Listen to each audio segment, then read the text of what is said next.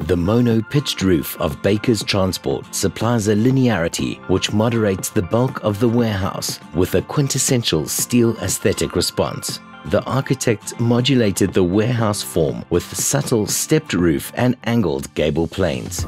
Extended eaves added practicality and are joined in an angular configuration at the gables. The warehouse structure is clad with dark grey concealed fixed steel sheeting and opaque white translucent sheeting.